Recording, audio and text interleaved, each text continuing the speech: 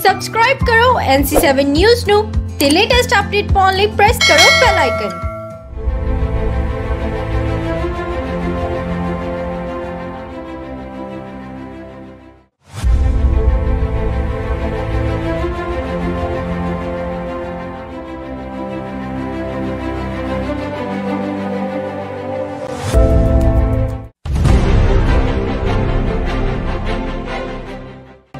ਖਬਰਾਂ ਦੀ ਸ਼ੁਰੂਆਤ ਵੱਡੀ ਖਬਰ ਦੇ ਨਾਲ ਮਹਾਨਗਰ ਜਲੰਧਰ 'ਚ ਲਗਾਤਾਰ ਕੋਰੋਨਾ ਵਾਇਰਸ ਦੇ ਮਾਮਲੇ ਵਧਦੇ ਜਾ ਰਹੇ ਨੇ। ਅੱਜ ਫਿਰ ਤੋਂ ਜਲੰਧਰ 'ਚ ਕੋਰੋਨਾ ਵਾਇਰਸ ਦੇ 71 ਪੋਜ਼ਿਟਿਵ ਕੇਸਾਂ ਦੀ ਪੁਸ਼ਟੀ ਕੀਤੀ ਗਈ ਹੈ। ਇਸ ਦੇ ਨਾਲ ਜਲੰਧਰ 'ਚ ਹੁਣ ਕੋਰੋਨਾ ਵਾਇਰਸ ਦੇ ਪੋਜ਼ਿਟਿਵ ਕੇਸਾਂ ਦਾ ਅੰਕੜਾ 906 ਤੱਕ ਪਹੁੰਚ ਗਿਆ ਹੈ, ਜਿਨ੍ਹਾਂ 'ਚੋਂ 22 ਲੋਕ ਕੋਰੋਨਾ ਖਿਲਾਫ ਜੰਗ ਲੜਦੇ ਹੋਏ ਮੌਤ ਦੇ ਮੂੰਹ 'ਚ ਜਾ ਚੁੱਕੇ ਨੇ। ਇੱਥੇ ਦੱਸ ਦਈਏ ਕਿ ਜਲੰਧਰ 'ਚ ਬੀਤੇ ਦਿਨਾਂ ਤੋਂ ਫਿਰ ਕੋਰੋਨਾ ਦੇ ਵੱਡੇ ਧਮਾਕੇ ਹੋ ਰਹੇ ਨੇ। ਕੱਲ ਵੀ ਜਲੰਧਰ 'ਚ ਕੁੱਲ 58 ਪੋਜ਼ਿਟਿਵ ਕੇਸ ਪਾਏ ਗਏ ਸਨ। ਲਗਾਤਾਰ ਰੋਜ਼ਾਨਾ ਇਕੱਠੇ ਆ ਰਹੇ ਕੋਰੋਨਾ ਵਾਇਰਸ ਦੇ ਮਾਮਲਿਆਂ ਨੂੰ ਲੈ ਕੇ, ਜਿੱਥੇ ਸਿਹਤ ਮਹਿਕਮਾ ਚਿੰਤਾ 'ਚ ਹੈ, ਉੱਥੇ ਹੀ ਲੋਕਾਂ 'ਚ ਵੀ ਦਹਿਸ਼ਤ ਦਾ ਮਾਹੌਲ ਪਾਇਆ ਜਾ ਰਿਹਾ ਹੈ। ਆਲਮ ਇਹ ਹੈ ਕਿ ਪੰਜਾਬ ਵਿੱਚ ਕੋਰੋਨਾ ਵਾਇਰਸ ਦੇ ਪੀੜਤ ਮਰੀਜ਼ਾਂ ਦੀ ਗਿਣਤੀ 6000 ਤੋਂ ਪਾਰ ਹੋ ਗਈ ਹੈ।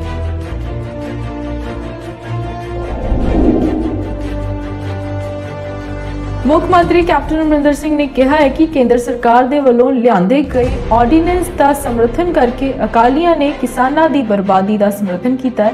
ਆਪਣੇ ਫੇਸਬੁੱਕ ਪੇਜ ਤੇ ਇੱਕ ਪੋਸਟ ਸਾਂਝੀ ਕਰਦਿਆਂ ਕੈਪਟਨ ਨੇ ਕਿਹਾ ਕਿ ਕੇਂਦਰ ਦੇ ਕਿਸਾਨ ਵਿਰੋਧੀ ਆਰਡੀਨੈਂਸ ਦਾ ਸਮਰਥਨ ਕਰਕੇ ਸ਼੍ਰੋਮਣੀ ਅਕਾਲੀ ਦਲ ਨੇ ਪੰਜਾਬ ਦੇ ਹਿੱਤਾਂ ਨਾਲ ਧੋਖਾ ਕੀਤਾ ਹੈ। ਉਹਨਾਂ ਕਿਹਾ ਕਿ ਇਹ ਪੰਜਾਬ ਅਤੇ ਪੰਜਾਬ ਦੇ ਕਿਸਾਨਾਂ ਦੇ ਭਵਿੱਖ ਬਾਰੇ ਹੈ ਅਤੇ ਸਿਆਸਤ ਤੋਂ ਪਰੇ ਹੈ। ਮੁੱਖ ਮੰਤਰੀ ਨੇ ਕਿਹਾ ਕਿ ਇਹ ਸਮਾਂ ਸਿਆਸਤ ਕਰਨ ਦਾ ਨਹੀਂ, ਸਗੋਂ ਪੰਜਾਬ ਨਾਲ ਲੜਨ ਦਾ ਹੈ, ਤਾਂ ਜੋ ਕਿਸਾਨਾਂ ਨਾਲ ਹੋ ਰਹੇ ਧੱਕੇ ਨੂੰ ਰੋਕਿਆ ਜਾ ਸਕੇ।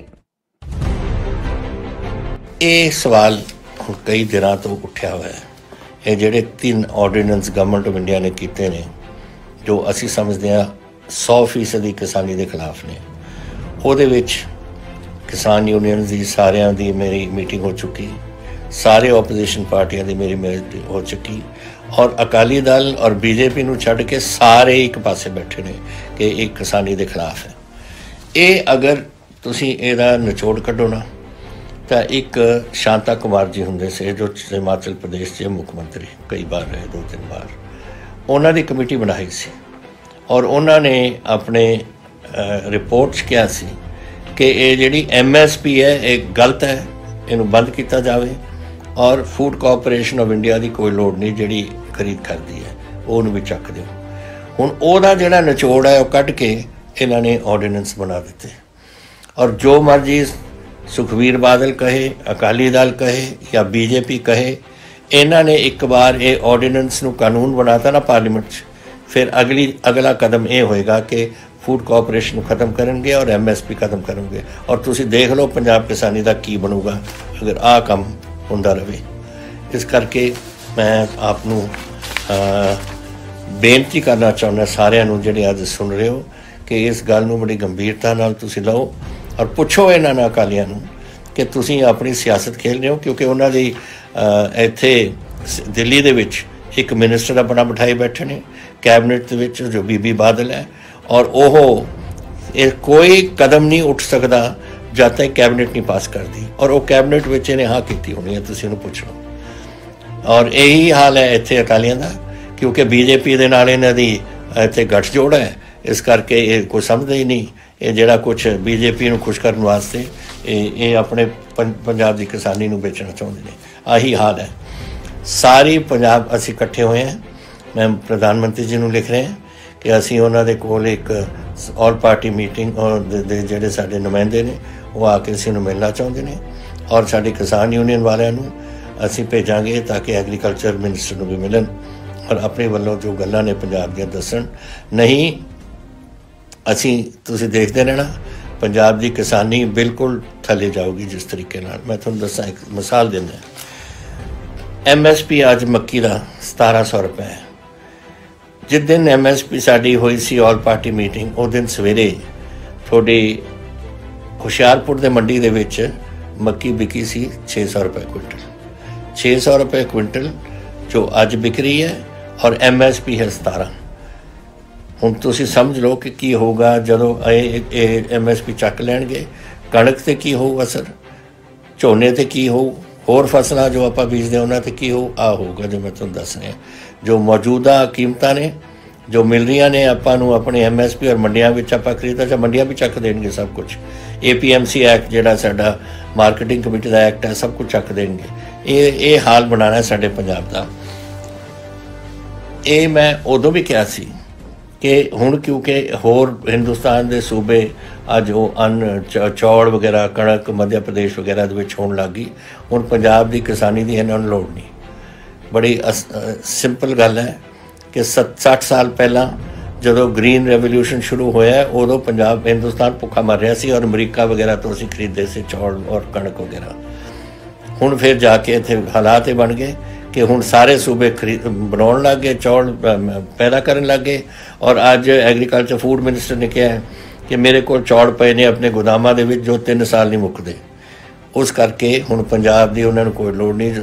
ਸਾਡਾ ਸਾਡਾ, ਸਾਨੂੰ ਨਿਚੋੜ ਕੇ, ਸਭ ਕੁਝ ਕੱਢ ਕੇ ਸਾਨੂੰ ਹੁਣ ਬਿਲਕੁਲ ਇੱਕ ਪਾਸੇ ਸਿੱਟਣੇ ਨੇ। ਇਸ ਕਰਕੇ ਜ਼ਰੂਰੀ ਹੈ, ਤੁਸੀਂ ਇਹ ਅਕਾਲੀਆਂ ਦੀ ਔਰ ਇਹ ਬੀਜੇਪੀ ਵਾਲਿਆਂ ਦੀ ਗੱਲਾਂ 'ਚ ਨਹੀਂ ਆਉਣਾ।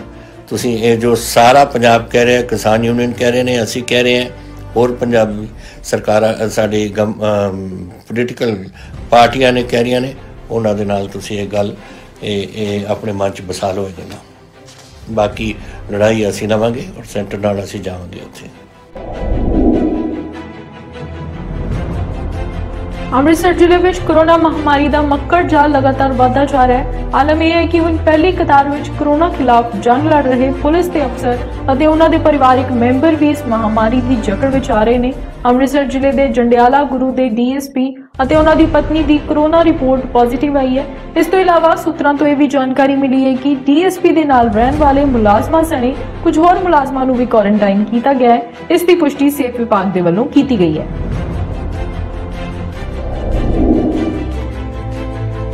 ਦੇਸ਼ 'ਚ ਨਿੱਜੀ ਰੇਲ ਗੱਡੀਆਂ ਦਾ ਦੌਰ ਜਲਦੀ ਹੀ ਸ਼ੁਰੂ ਹੋਣ ਜਾ ਰਿਹਾ ਹੈ। ਅਪ੍ਰੈਲ 2021 ਤੱਕ ਦੇਸ਼ ਵਿੱਚ 44 ਨਿੱਜੀ ਰੇਲ ਗੱਡੀਆਂ ਦੌੜਨਗੀਆਂ। ਇਸ ਲਈ ਭਾਰਤੀ ਰੇਲਵੇ ਨੇ 30000 ਕਰੋੜ ਰੁਪਏ ਦੇ ਨਿੱਜੀ ਰੇਲ ਪ੍ਰੋਜੈਕਟ ਦੀ 109 ਰੂਟਾਂ ਲਈ ਤਿਆਰੀ ਕਰ ਰਹੀ ਹੈ। ਰੇਲਵੇ ਬੋਰਡ ਦੇ ਚੇਅਰਮੈਨ ਵੀਕੇ ਯਾਦਵ ਨੇ ਵੀਰਵਾਰ ਨੂੰ ਕਿਹਾ ਕਿ ਨਿੱਜੀ ਰੇਲ ਗੱਡੀਆਂ ਦਾ ਵਿਚਾਰ ਇਹ ਹੈ ਕਿ ਉਹ ਸਾਰੇ ਪ੍ਰਮੁੱਖ ਉੱਚ ਮੰਗ ਵਾਲੇ ਮਾਰਗਾਂ ਤੇ ਸਾਰੇ ਯਾਤਰੀਆਂ ਨੂੰ ਪੁਸ਼ਟੀ ਵਾਲੀਆਂ ਸੀਟਾਂ ਪ੍ਰਦਾਨ ਕਰਾ ਸਕਣ। ਦੱਸਦੀ ਕਿ ਪਿਛਲੇ ਸਾਲ Indian railway catering and tourism corporation ਦੀ ਸ਼ੁਰੂਆਤ ਲਖਨਊ, ਦਿੱਲੀ ਤੇਜਸ ਐਕਸਪ੍ਰੈਸ ਨਾਲ ਹੋਈ ਸੀ। ਇਸ ਸਮੇਂ ਆਈਆਰਸੀਟੀਸੀ ਤਿੰਨ ਰੇਲ ਗੱਡੀਆਂ ਚਲਾਉਂਦੀ ਹੈ, ਜਿਨ੍ਹਾਂ ਵਿੱਚ ਕਾਸ਼ੀ ਮਹਾਕਲ ਐਕਸਪ੍ਰੈਸ, ਲਖਨਊ ਨਵੀਂ ਦਿੱਲੀ ਤੇਜਸ ਅਤੇ ਅਹਮਦਾਬਾਦ ਮੁੰਬਈ ਤੇਜਸ ਐਕਸਪ੍ਰੈਸ, ਵਾਰਾਣਸੀ ਇੰਦੌਰ ਮਾਰਗ ਤੇ ਸ਼ਾਮਿਲ ਹਨ।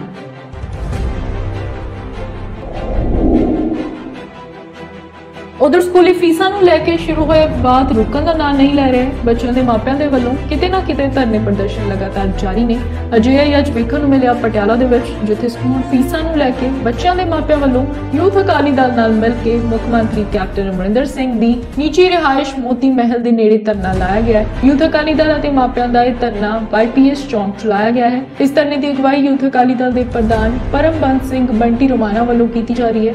ਦਰਸ਼ਨਕਾਰੀ ਮੋਤੀ ਮਹਿਲ ਦਾ ਘਿਰਾਓ ਕਰਨ ਦੀ ਕੋਸ਼ਿਸ਼ ਕਰ ਰਹੇ ਨੇ, ਜਦੋਂ ਕਿ ਮੌਕੇ ਤੇ ਭਾਰੀ ਪੁਲਿਸ ਹਮਲਾ ਵੀ ਮੌਜੂਦ ਹੈ। ਇਸ ਮੌਕੇ ਮਾਪਿਆਂ ਵੱਲੋਂ ਆਪਣੇ ਸਰੀਰ ਤੋਂ ਕੱਪੜੇ ਉਤਾਰ ਕੇ ਸਕੂਲ ਖਿਲਾਫ ਪ੍ਰਦਰਸ਼ਨ ਕੀਤਾ ਜਾ ਰਿਹਾ ਹੈ। ਧਰਨੇ ਦੀ ਅਗਵਾਈ ਕਰ ਰਹੇ ਬੰਟੀ ਰੋਮਾਣਾ ਨੇ ਦੋਸ਼ ਲਾਇਆ ਕਿ ਕੈਪਟਨ ਸਰਕਾਰ ਝੂਠੇ ਲਾਰੇ ਲਾ ਕੇ ਮਾਪਿਆਂ ਨਾਲ ਧੋਖਾ ਕਰ ਰਹੀ ਹੈ।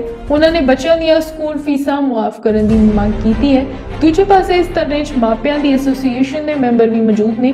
ਉਥੇ ਚੰਡੀਗੜ੍ਹ 'ਚ ਪੰਜਾਬ ਅਤੇ ਹਰਿਆਣਾ ਹਾਈ ਕੋਰਟ ਨੇ ਇਸ ਮਾਮਲੇ ਦੀ ਅਗਲੀ ਸੁਣਵਾਈ ਸੋਮਵਾਰ ਤੱਕ ਟਾਲ ਦਿੱਤੀ ਹੈ।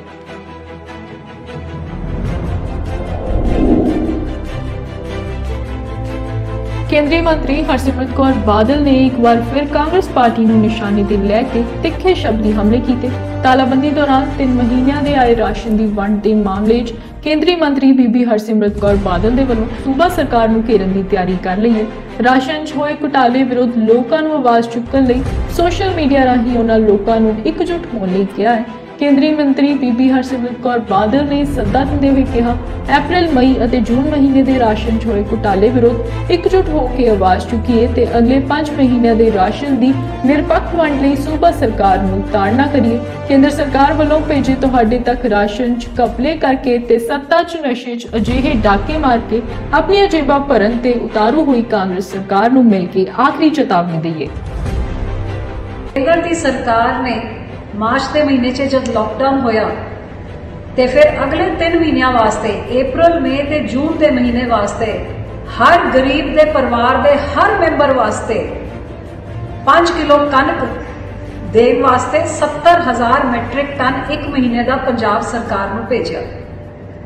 ਨੀਲਾ ਕਾਰਡ ਭਾਵੇਂ ਹੋਏ, ਭਾਵੇਂ ਨਾ ਹੋਏ, ਪਰਿਵਾਰ 'ਚ ਜੀ ਇੱਕ ਹੋਏ ਜਾਂ 10 ਜੀ ਹੋਣ, ਹਰ ਗਰੀਬ ਦੇ ਹਰ ਘਰ 'ਚ ਹਰ ਮੈਂਬਰ ਨੂੰ 5 ਕਿਲੋ ਕਣਕ ਹਰ ਮਹੀਨੇ, April ਦੇ ਮਹੀਨੇ ਮਈ ਦੇ ਮਹੀਨੇ ਤੇ ਜੂਨ ਦੇ ਮਹੀਨੇ। ਜੇ ਤੁਹਾਡੇ ਪਰਿਵਾਰ 'ਚ 5 ਜੀ ਹੈਗੇ ਤੇ ਹਰ ਮਹੀਨੇ ਦਾ ਤੁਹਾਡਾ 25 ਕਿਲੋ ਦਾ ਹੱਕ ਬਣਦਾ ਸੀ 3 ਮਹੀਨਿਆਂ 'ਚ 75 ਕਿਲੋ ਤੁਹਾਡੇ ਘਰ 'ਚ ਪਹੁੰਚਣਾ ਚਾਹੀਦਾ ਸੀ। 70000 ਮੈਟ੍ਰਿਕ ਟਨ ਹਰ ਮਹੀਨੇ ਕੇਂਦਰ ਦੀ ਸਰਕਾਰ ਤੋਂ ਪੰਜਾਬ ਸਰਕਾਰ ਨੇ ਚੱਕ ਕੇ ਆਪਣੇ ਕੋਲ ਰੱਖ ਲਿਆ। ਲੇਕਿਨ ਕੀ ਤੁਹਾਡੇ ਹਿੱਸੇ ਦਾ 5 ਕਿਲੋ ਤੁਹਾਡੇ ਕੋਲ ਪਹੁੰਚਿਆ ਕਿ ਤੁਹਾਡੇ ਬੱਚਿਆਂ ਦਾ ਹੱਕ, ਤੁਹਾਡੇ ਮਾਪਿਆਂ ਦਾ ਹੱਕ, ਤੁਹਾਡੇ ਘਰੋਂ ਦਾ ਘਰ ਵਾਲਿਆਂ ਦਾ ਹੱਕ 5 ਕਿਲੋ ਪਰ ਜੀ ਦੇ ਹਿਸਾਬ ਨਾਲ ਤੁਹਾਨੂੰ ਮਿਲਿਆ? ਜੇ ਨਹੀਂ ਮਿਲਿਆ, ਤੇ ਫਿਰ ਇਹ ਪੰਜਾਬ ਸਰਕਾਰ ਨੇ ਦਿੱਲੀ ਤੋਂ ਭੇਜੀ ਹੋਈ ਕਣਕ, ਉਹਦਾ ਕੀ ਕੀਤਾ? ਕਿੱਥੇ ਗਿਆ? ਖੁਰਦ ਕਿਵੇਂ ਹੋ ਗਿਆ? ਤੇ ਵੱਡੀ ਗੱਲ ਆ ਕਿ ਪ੍ਰਧਾਨ ਮੰਤਰੀ ਜੀ ਨੇ ਅਗਲੇ 5 ਮਹੀਨਿਆਂ ਵਾਸਤੇ ਵੀ ਪੰਜਾਬ ਦੇ ਹਰ ਗਰੀਬ ਜੀ ਵਾਸਤੇ ਨੀਲਾ ਕਾਰਡ ਹੋਏ ਨਾ ਹੋਏ। ਤੁਹਾਡੇ ਵਾਸਤੇ ਅਗਲੇ 5 ਮਹੀਨੇ, ਹਰ ਮਹੀਨੇ 5 ਕਿਲੋ ਪਰ ਮੰਥ ਦੇ ਹਿਸਾਬ ਨਾਲ ਤੁਹਾਨੂੰ ਦਿੱਤਾ ਜਾਊਗਾ। ਆਪਣਾ ਹੱਕ ਚਾਹੁੰਦੇ ਹੋ ਕਿ ਤੁਹਾਨੂੰ ਪਿਛਲਾ ਹੱਕ ਜਿਹੜਾ ਨਹੀਂ ਮਿਲਿਆ ਗਾਂ ਤੁਹਾਨੂੰ ਮਿਲੇ। ਨਹੀਂ ਤਾਂ ਇਸ ਸਰਕਾਰ ਨੇ ਇੱਕ ਵਾਰ ਫੇਰ ਤੁਹਾਡੇ ਬੱਚਿਆਂ ਦੇ ਮੂੰਹ ਤੋਂ ਰੋਟੀ ਛੀਨ ਕੇ ਜਿਵੇਂ ਤੁਹਾਡੇ ਨੀਲੇ ਕਾਰਡ ਕੱਟਤੇ, ਹੁਣ ਇਹ ਦਾਣੇ ਭੇਜੇ ਹੋਏ ਵੀ ਤੁਹਾਡਾ ਹੱਕ ਮਾਰ ਕੇ ਆਪ ਦਾ ਢਿੱਡ ਭਰ ਕੇ ਪੈਸੇ ਕਮਾ ਕੇ ਆਪ ਦੀ ਜੇਬਾਂ ਭਰਨ ਦਾ ਕੰਮ ਕਰਨਗੇ। ਆਪਣੀ ਹੱਕ ਦੀ ਲੜਾਈ ਵਾਸਤੇ ਮੰਗ ਰੱਖੋ। ਲੰਮੇ ਸਮੇਂ ਤੋਂ ਖਾਲੀ ਪਈ ਕੁਰਸੀ ਨੂੰ ਲੱਗੇ ਭਾਗ, ਮਾਰਕੀਟ ਕਮੇਟੀ ਦੇ ਨਵ ਨਿਯੁਕਤ ਚੇਅਰਮੈਨ ਸੰਜੀਵ ਢੀਂਗਰਾ, ਟੀਨਾ ਦੀ ਹੋਈ ਤਾਜਪੋਸ਼ੀ ਸਬ ਡਿਵੀਜ਼ਨ ਰਾਮਪੁਰਾ ਫੂਲ ਵਿਖੇ ਮਾਰਕੀਟ ਕਮੇਟੀ ਦੇ ਨਵ ਨਿਯੁਕਤ ਚੇਅਰਮੈਨ ਵਜੋਂ ਸੰਜੀਵ ਢੀਂਗਰਾ, ਟੀਨਾ ਤੇ ਵਾਈਸ ਚੇਅਰਮੈਨ ਰਾਜਵਿੰਦਰ ਕੌਰ ਦਾ ਤਾਜਪੋਸ਼ੀ ਸਮਾਗਮ ਸਥਾਨਕ ਅਨਾਜ ਮੰਡੀ ਰਾਮਪੁਰਾ ਫੂਲ ਵਿਖੇ ਕਰਾਇਆ ਗਿਆ। ਇਸ ਸਮਾਗਮ ਮੌਕੇ ਇਲਾਕੇ ਦੇ ਕੈਬਨਿਟ ਮੰਤਰੀ ਸਰਦਾਰ ਗੁਰਪ੍ਰੀਤ ਸਿੰਘ ਕਾਂਗੜ, ਨਰਿੰਦਰ ਸਿੰਘ ਭਲੇਰੀਆ ਤੇ ਜੈਂਸੀ ਕਾਂਗੜ ਨੇ ਉਚੇਚੇ ਤੌਰ ਤੇ ਸ਼ਿਰਕਤ ਕੀਤੀ। ਇਸ ਸਮੇਂ ਮਾਰਕੀਟ ਕਮੇਟੀ ਦਫ਼ਤਰ ਵਿਖੇ ਕੈਬਨਿਟ ਮੰਤਰੀ ਸਰਦਾਰ ਕਾਂਗੜ ਦੀ ਹਾਜ਼ਰੀ ਵਿੱਚ ਨਵੇਂ ਬਣੇ ਚੇਅਰਮੈਨ ਤੇ ਵਾਈਸ ਚੇਅਰਮੈਨ ਨੇ ਕਾਰਜ ਸੰਭਾਲਿਆ। ਉਹਨਾਂ ਕਿਹਾ ਕਿ ਹਲਕੇ ਦੇ ਵਿਧਾਇਕ ਅਤੇ ਪੰਜਾਬ ਸਰਕਾਰ ਵਿੱਚ ਮੌਜੂਦਾ ਕੈਬਨਿਟ ਮੰਤਰੀ ਸਰਦਾਰ ਗੁਰਪ੍ਰੀਤ ਸਿੰਘ ਕਾਂਗੜ ਦੇ ਯਤਨਾਂ ਸਦਕਾ ਹੀ ਉਹਨਾਂ ਨੂੰ ਚੇਅਰਮੈਨ ਤੇ ਵਾਈਸ ਚੇਅਰਮੈਨ ਲਗਾਇਆ ਗਿਆ ਹੈ। ਇਸ ਲਈ ਉਹ ਹਲਕਾ ਵਿਧਾਇਕ ਸਰਦਾਰ ਗੁਰਪ੍ਰੀਤ ਸਿੰਘ ਕਾਂਗੜ ਤੇ ਮੁੱਖ ਮੰਤਰੀ ਕੈਪਟਨ ਅਮਰਿੰਦਰ ਸਿੰਘ ਦਾ ਤਹਿ ਦਿਲੋਂ ਧੰਨਵਾਦ ਕਰਦੇ ਨੇ। ਵਰਕਰਾਂ ਨੂੰ ਸੰਬੋਧਨ ਕਰਦੇ ਸਰਦਾਰ ਗੁਰਪ੍ਰੀਤ ਸਿੰਘ ਕਾਂਗੜ ਨੇ ਕਿਹਾ ਕਿ ਮਾਰਕੀਟ ਕਮੇਟੀ ਚੇਅਰਮੈਨ ਦਾ ਅਹੁਦਾ ਬਹੁਤ ਹੀ ਜ਼ਿੰਮੇਵਾਰੀ ਵਾਲਾ ਹੁੰਦਾ ਹੈ। ਇਸ ਨਾਲ ਕਿਸਾਨਾਂ ਤੇ ਆੜ੍ਹਤੀਆਂ ਦੇ ਚੰਗੇ ਸੰਬੰਧ ਬਣਦੇ ਨੇ। ਕਿਸੇ ਨੂੰ ਕੋਈ ਸਮੱਸਿਆ ਆਉਂਦੀ ਹੈ ਤਾਂ ਉਹ ਇਹਨਾਂ ਨਾਲ ਸੰਪਰਕ ਕਰ ਸਕਦਾ ਹੈ। ਅੱਜ ਦੇ ਖੁਸ਼ੀਆਂ ਭਰੇ ਦਿਹਾੜੇ ਤੇ ਇਕੱਠੇ ਹੋਏ ਤੇ ਮੇਰੇ ਬੇਟੇ ਦੀ ਟੀਨਾ ਜੀ ਦੀ ਤਾਜਪੋਸ਼ੀ ਤੇ ਖੁਸ਼ੀ ਚ ਵਾਅਦਾ ਕਰਨ ਵਾਸਤੇ ਹਾਜ਼ਰ ਹੋਏ ਸਾਰੇ ਮਾਰਕੀਟ ਕਮੇਟੀ ਦੇ ਜੋ ਨਵੇਂ ਬਣੇ ਹੈ ਮੈਂਬਰ ਸਾਹਿਬਾਨ ਸਾਡੇ ਕਾਂਗਰਸ ਪਾਰਟੀ ਦੇ ਬਹੁਤ ਹੀ ਆਦਰ ਦੇ ਸਤਿਕਾਰਯੋਗ ਸੀਨੀਅਰ ਵਰਕਰ ਸਾਹਿਬਾਨ ਲੀਡਰ ਸਾਹਿਬਾਨ ਅਹੁਦੇਦਾਰ ਸਾਹਿਬਾਨ ਪਿੰਡਾਂ ਤੋਂ ਆਏ ਹੋਏ ਝਾੜੂ ਵੀ ਬਹੁਤ ਹੀ ਆਦਰ ਦੇ ਪ੍ਰੈਸਾਈ ਕੀ ਸਾਹਿਬਾਨ ਸਾਰੇ ਅਫਸਰ ਸਾਹਿਬਾਨ ਸਾਰਿਆਂ ਨੂੰ ਬੜੇ ਆਦਰ ਦੇ ਸਤਿਕਾਰ ਨਾਲ ਫਤਿਹ ਅਰਜ਼ ਕਰਦਾ ਹਾਂ ਬਲਾਉ ਫਤਿਹ ਵਾਹਿਗੁਰੂ ਜੀ ਕਾ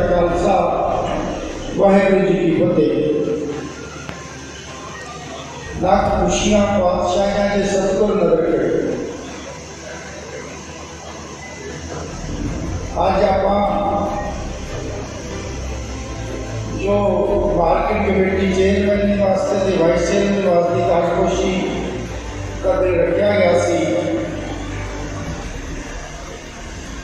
ਅੱਜ ਉਸ ਕੁਰਸੀਆਂ ਤੇ ਇਹਨਾਂ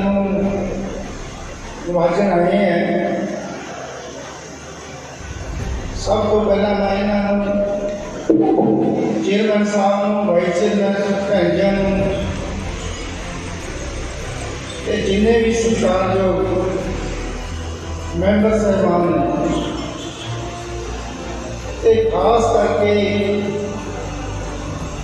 ਜਿਹੜੇ ਸਾਹਮਣੇ ਬੈਠੇ ਤੁਸੀਂ ਝਾੜੂ ਵੀਰ ਹੈ ਜਿਨ੍ਹਾਂ ਨੇ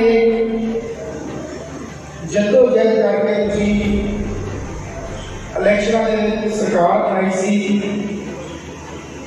ਸਾਰਿਆਂ ਦਾ ਆਪਣੇ ਵੱਲੋਂ ਮਹਾਰਾਜਾ ਕੈਪਟਨ ਅਮਰਿੰਦਰ ਸਿੰਘ ਵੱਲੋਂ ਤੁਹਾਡਾ ਬਹੁਤ ਬਹੁਤ ਧੰਨਵਾਦ ਕਰਦਾ ਹਾਂ। ਇਹਨਾਂ ਸਮੁੱਚੇ ਟੀਮ ਨੂੰ ਬਹੁਤ ਬਹੁਤ ਵਧਾਈ ਦਿੰਦਾ ਸਭ ਤੋਂ ਵੱਡੀ ਵਧਾਈ ਤੁਹਾਨੂੰ ਹੈ। ਜਿਨ੍ਹਾਂ ਦੇ ਸਿਰ ਤੇ ਤੁਸੀਂ ਬਹੁਤ ਸਿਰ ਤੋੜ ਜਤਨ ਕਰਕੇ, ਦਿਨ ਕੋ ਰਾਤ ਦੇਖ ਕਰਕੇ ਕੱਲੀ ਕੱਲੀ ਵੋਟ ਪਾ ਕੇ ਮੈਨੂੰ ਰਾਮਪੁਰਾ ਹਲਕੇ ਦਾ ਸੇਵਾਦਾਰ ਚੁਣਿਆ। ਉਦੋਂ ਬਾਅਦ ਸਰਕਾਰ ਬਣੀ। ਸਰਕਾਰ ਬਣਨ ਤੋਂ ਬਾਅਦ ਇਹ ਜਿਹੜੀ ਡਿਊਟੀ ਲੱਗੀ ਹੈ ਕਿੰਨਾ ਜੀਵਨਾਂ ਦੀ ਜੋ ਚੇਅਰਮੈਨ ਅੱਜ ਬਿਠਾਉਣ ਆਏ ਹੈ ਇਹ ਸਭ ਤੋਂ ਵੱਡੀ ਦੇਣ ਤੁਹਾਡੀ ਹੈ ਜਿੱਤੇ ਦਾ ਬੜੇ ਬੜੀ ਸੀ ਪਰ ਕੁਦਰਤੀ ਇਹ ਸੀ ਸਰਕਾਰ ਨਹੀਂ ਸੀ ਆਉਂਦੀ ਐਤਕੀ ਚੌਥੀ ਇਲੈਕਸ਼ਨ ਲੜੇ ਗੁਰੂ ਮਹਾਰਾਜ ਨੇ ਕਿਰਪਾ ਕੀਤੀ, ਤੁਸੀਂ ਮਿਹਨਤ ਕੀਤੀ, ਸਰਕਾਰ ਬਣਾਉਣ ਦਾ ਤੁਹਾਡਾ ਜਿਹੜਾ ਵੱਡਾ ਹਿੰਮਤ ਸੀ, ਉਹ ਪੂਰਾ ਹੋਇਆ। ਮੈਨੂੰ ਵਜ਼ੀਰ ਬਣਾਇਆ ਤੁਸੀਂ। ਅੱਜ ਕਿੰਨਾ ਜੀ ਤੁਸੀਂ ਚੇਅਰਮੈਨ ਬਣਾਇਆ, ਇਹ ਵੀ ਤੁਹਾਡੇ ਸੇਵਾ ਤੁਹਾਡੇ ਸਾਰਿਆਂ ਦੇ ਸਿਰ ਜਾਂਦਾ ਹੈ। ਸੋ ਅੱਜ ਬੜੀ ਵੱਡੀ ਜ਼ਿੰਮੇਵਾਰੀ ਹੀਰਾ ਪਰਿਵਾਰ ਤੇ ਬਹੁਤ ਵੱਡੀ ਪਈ ਹੈ ਔਰ ਮੈਂ ਇਹਨਾਂ ਨੂੰ ਬੇਨਤੀ ਕਰੂੰਗਾ ਪਾਰਟੀ ਵਾਲੀ ਤੋਂ ਉੱਪਰ ਉੱਠ ਕੇ ਛੋਟੀਆਂ ਗੱਲਾਂ 'ਚ ਨਹੀਂ ਪੈਣਾ ਚਾਹੀਦਾ ਜਦੋਂ ਇਨਸਾਨ ਕਿਸੇ ਬਖਸ਼ਿਸ਼ ਦੇ ਨਾਲ ਗੁਰੂ ਮਹਾਰਾਜ ਜੀ ਨਾਲ ਇਹ ਜੀ ਨਿਰੰਤਰ ਹੋ ਕੇ ਸੇਵਾ ਕਰਨੀ ਚਾਹੀਦੀ ਹੈ। ਇਸ ਮੌਕੇ ਨਵੇਂ ਬਣੇ ਚੇਅਰਮੈਨਾਂ ਨੇ ਉਚੇਚੇ ਤੌਰ ਤੇ ਪਹੁੰਚੇ ਮਹਿਮਾਨਾਂ ਤੇ ਵਰਕਰਾਂ ਦਾ ਧੰਨਵਾਦ ਕੀਤਾ ਅਤੇ ਭਰੋਸਾ ਦਿੱਤਾ ਕਿ ਉਹ ਹਲਕਾ ਵਿਧਾਇਕ ਵੱਲੋਂ ਦਿੱਤੀ ਗਈ ਜ਼ਿੰਮੇਵਾਰੀ ਪੂਰੀ ਇਮਾਨਦਾਰੀ ਨਾਲ ਨਿਭਾਉਣਗੇ ਤੇ ਆੜਤੀ ਵੀਰਾਂ ਤੇ ਕਿਸਾਨ ਭਰਾਵਾਂ ਦੀ ਹਰ ਸਮੱਸਿਆ ਨੂੰ ਹੱਲ ਕਰਨ ਦੀ ਹਰ ਸੰਭਵ ਕੋਸ਼ਿਸ਼ ਕਰਨਗੇ। ਮੈਂ ਬਲਕਾਰ ਸਿੰਘ ਸਕੱਤਰ ਮਾਰਕੀਟ ਕਮੇਟੀ ਰਾਮਪੁਰਾ ਫੂਲ। ਮੇਰੇ ਵੱਲੋਂ ਸਮੂਹ ਇਲਾਕਾ ਨਿਵਾਸੀਆਂ ਨੂੰ ਬਹੁਤ-ਬਹੁਤ ਵਧਾਈਆਂ। ਸਾਡੇ ਅੱਜ ਸਤਿਕਾਰਯੋਗ ਸੰਜੀਵ ਢਿੰਗੜਾ ਜੀ, ਉਰਫ ਟੀਨਾ ਜੀ ਮਾਰਕੀਟ ਕਮੇਟੀ ਰਾਮਪੁਰਾ ਫੂਲ ਦੇ ਚੇਅਰਮੈਨ ਨਿਯੁਕਤ ਹੋਏ ਨੇ, ਜਿਨ੍ਹਾਂ ਦੀ ਅੱਜ ਤਾਜਪੋਸ਼ੀ ਹੋਈ ਆ। ਮੈਂ ਇੱਕ ਵਾਰ ਫਿਰ ਸਮੂਹ ਇਲਾਕਾ ਨਿਵਾਸੀਆਂ ਨੂੰ ਬਹੁਤ-ਬਹੁਤ ਵਧਾਈ ਦੇਣੀ ਚਾਹੁੰਦਾ ਮੈਂ ਰਕੇਸ਼ ਕੁਮਾਰ ਭਾਈਆ ਪ੍ਰਧਾਨ ਐਸੋਸੀਏਸ਼ਨ ਰਾਮਪਾਪੂ ਅਤੇ ਕੈਬਨਿਟ ਮੰਤਰੀ ਸਰਦਾਰ ਗੁਰਪ੍ਰੀਤ ਸਿੰਘ ਕਾਂਗੜ ਜੀ ਵੱਲੋਂ ਸ੍ਰੀ ਗੁਆਤੀ ਰਾਈ ਨੂੰ ਚੇਅਰਮੈਨ ਬਣਾਉਣ ਤੇ ਲੱਖ ਲੱਖ ਵਧਾਈ ਦਿੰਦਾ, ਤੇ ਉਹਨਾਂ ਦਾ ਤਹਿ ਦਿਲੋਂ ਧੰਨਵਾਦ। ਸਾਡੇ ਸ੍ਰੀ ਗੁਆਤੀ ਰਾਈ ਸਿਟੀ ਪ੍ਰਧਾਨ, ਕਾਂਗਰਸ, ਰਾਮਪੁਰਾ ਪੁਲ ਪਹਿਲਾਂ ਵੀ ਬਹੁਤ ਵਧੀਆ ਕੰਮ ਕਰ ਰਹੇ ਨੇ। ਤੇ ਮੈਨੂੰ ਉਮੀਦ ਹੈ ਹੁਣ ਵੀ ਚੇਅਰਮੈਨ ਤੇ ਬਰਾਏ ਕੁਰਸੀ ਤੇ ਬਰਾਏ ਵਧੀਆ ਕੰਮ ਮੈਂ ਸਰਜੀਤ ਸਿੰਘ, ਸਾਬਕਾ ਵਾਈਸ ਪ੍ਰਧਾਨ, ਨਗਰ ਕੌਂਸਲ ਰਾਮਪੁਰਾ। ਆਪਣੇ ਦਿਲ ਦੀਆਂ ਗਹਿਰਾਈਆਂ ਚੋਂ ਸਾਡੇ ਵੱਡੇ ਵੀਰ ਸੰਜੀਵ ਢੀਂਗਰਾ ਟੀਨਾ ਜੀ, ਜੋ ਮਾਰਕੀਟ ਕਮੇਟੀ ਦੇ ਚੇਅਰਮੈਨ ਬਣੇ ਨੇ, ਉਹਨਾਂ ਨੂੰ ਲੱਖ ਲੱਖ ਵਧਾਈ ਦਿੰਦਾ ਅਤੇ ਧੰਨਵਾਦ ਕਰਦਾ ਸਰਦਾਰ ਗੁਰਪ੍ਰੀਤ ਸਿੰਘ ਜੀ ਕਾਂਗੜ, ਕੈਬਨਿਟ ਮੰਤਰੀ ਪੰਜਾਬ ਸਰਕਾਰ ਜੀ, ਜਿਨ੍ਹਾਂ ਨੇ ਇਹ ਕੁਰਸੀ ਸਾਡੇ ਸ਼ਹਿਰ ਨੂੰ ਬਖਸ਼ੀ ਆ। ਬਹੁਤ ਬਹੁਤ ਧੰਨਵਾਦ। ਮੈਂ ਸੁਰੇਸ਼ ਕੁਮਾਰ ਬਾਈਆ ਐਕਸ ਐਮਸੀ ਰਾਮਪੁਰਾ ਫੂਲ ਮੈਂ ਕਾਂਗੜ ਸਾਹਿਬ ਦਾ, ਕੈਬਨਿਟ ਮੰਤਰੀ ਪੰਜਾਬ ਦਾ ਬਹੁਤ ਧੰਨਵਾਦੀ ਹਾਂ, ਜਿਨ੍ਹਾਂ ਨੇ ਸੰਜੀਤੀ ਰਾਜੀ ਨੂੰ ਰਾਮਪੁਰਾ ਫੂਲ ਕਮੇਟੀ ਦਾ ਚੇਅਰਮੈਨ ਬਣਾ ਕੇ ਸਾਡੇ ਸ਼ਹਿਰ ਦਾ ਨਾਮ ਵਧਾਇਆ। ਢੀਂਗਰਾ ਜੀ ਨੇ ਸਿਟੀ ਪ੍ਰਧਾਨ ਦੇ ਨਾਤੇ ਜੀ ਬਹੁਤ ਵਧੀਆ ਸੇਵਾ ਕੀਤੀ ਸ਼ਹਿਰ ਦੀ। ਮੈਨੂੰ ਉਮੀਦ ਹੈ ਵੀ ਚੇਅਰਮੈਨ ਬਣਨ ਦੇ ਤੁਰੰਤ ਵੀ ਉਹ ਆਪਣੇ ਸਾਥੀਆਂ ਨਾਲ ਲੈ ਕੇ ਸ਼੍ਰੀ ਪੋਲਾ ਸ਼ਰਮਾ ਪ੍ਰਧਾਨ ਅਤੇ ਸਮੂਹ truck operator truck union Rampura Phul ਜ਼ਿਲ੍ਹਾ ਬਠਿੰਡਾ ਵੱਲੋਂ ਸੰਜੀਵ ਢੀਂਗੜਾ ਟੀਨਾ ਨੂੰ ਮਾਰਕੀਟ ਕਮੇਟੀ ਰਾਮਪੁਰਾ ਫੂਲ ਦਾ ਚੇਅਰਮੈਨ ਬਣਨ ਤੇ ਲੱਖ ਲੱਖ ਵਧਾਈਆਂ। ਮੈਂ ਸੁਨੀਲ ਮੱਕੜ, ਪ੍ਰਧਾਨ ਸਬਜ਼ੀ ਮੰਡੀ।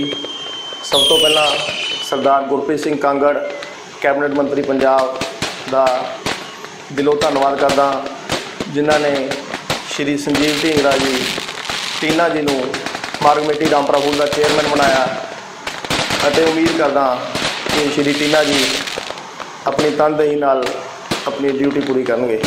ਮੈਂ ਇੱਕ ਵਾਰ ਫੇਰ ਸਮੂਹ ਸਬਜ਼ੀ ਮੰਡੀ ਐਸੋਸੀਏਸ਼ਨ ਵੱਲੋਂ ਸ਼੍ਰੀ ਸੰਜੀਵ ਢੀਂਗਰਾ ਟੀਨਾ ਜੀ ਨੂੰ ਮਾਰਗ ਕਮੇਟੀ ਚੇਅਰਮੈਨ ਬਣਨ ਤੇ ਲੱਖ ਲੱਖ ਵਧਾਈ ਦਿੰਦਾ ਜੀ। ਮੈਂ Sunny Garg secretary pesticide seed and fertiliser association Rampura Phul. Sanjeev Dhingra ji ਨੂੰ ਟੀਨਾ ਜੀ ਨੂੰ ਮਾਰਕੀਟ ਕਮੇਟੀ ਦੇ ਚੇਅਰਮੈਨ ਬਣਨ ਤੇ ਲੱਖ ਲੱਖ ਵਧਾਈਆਂ ਦਿੰਦਾ ਤੇ ਜਿਨ੍ਹਾਂ ਦੀ ਰਹਿਨੁਮਾਈ ਹੇਠ ਇਹ ਚੇਅਰਮੈਨ ਸਾਹਿਬ ਬਣੇ ਐ ਸ਼੍ਰੀ ਕਾਂਗੜ ਜੀ ਮੰਤਰੀ, ਸਾਡੇ ਕੈਬਨਿਟ ਮੰਤਰੀ, ਉਹਨਾਂ ਦਾ ਤਹਿ ਦਿਲੋਂ ਧੰਨਵਾਦ।